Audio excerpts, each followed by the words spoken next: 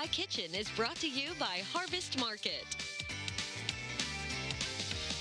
And back now in the CI kitchen with our salad extraordinaire, guest chef extraordinaire, Anita Dukeman is here. Okay, so before we make Mandy's dressing, remind everybody what we put into our salad extraordinaire. So many things. So we have our greens, meaning spring greens, romaine.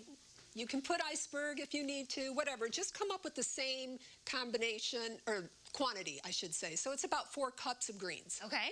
Okay. Then I put strawberries. I made these great pita chips, um, which is just baked pita chips with olive oil and salt and pepper. Um, I put in some sesame seeds. I used black and I also used white for um, just a combination. The black are a little crunchier.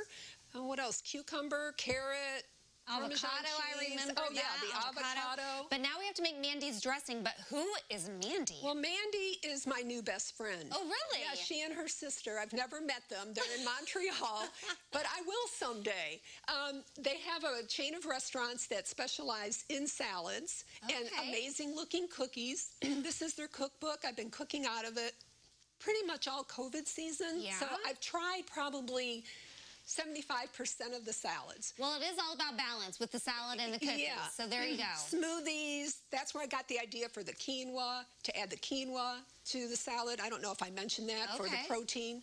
Nice. And so what goes into Mandy's dressing? Well, Mandy puts, of course, our nice vinegar, apple cider vinegar.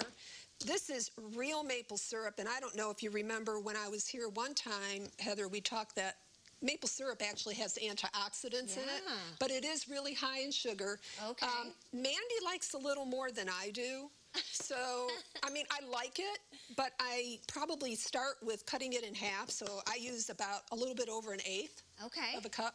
Then I put some Dijon mustard, some garlic, salt and pepper, and then in the perfect world, you would stir that up and then slowly add that so it emulsifies correctly. But honestly, I've never seen it not oh. emulsify. Whoops. Good, you got that little math there. yeah. Anyway, and then you know how much I love Oh, this yeah. tool. Blend, so blend, I just blend. whip it up. And that's pretty much it. Now, sometimes salads come already with the dressing already in it. Is this the kind of salad where you dress it yourself or you toss it together I love. I'm I'm one of those people that really likes it already on? Mm-hmm. Really? Yeah. Okay. I just know some people are really picky and they don't like a lot of salad dressings. They so- don't, but you know what? They'll learn own. to like it my way, right?